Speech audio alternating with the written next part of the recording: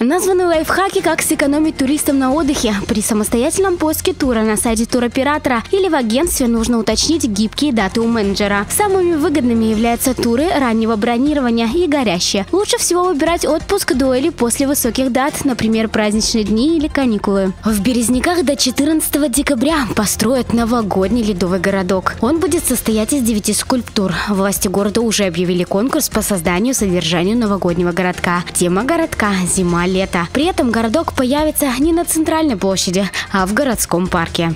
В рамках международного форума «Россия. Спортивная держава» в Перми открыли первый городской специализированный зал фехтования на улице Чернышевского, 28. Он включает зал площадью 1200 квадратных метров с 10 профессиональными фехтовальными дорожками, а также тренажерный зал, раздевалки и душевые. Новости коротко подготовила Карина Волошина.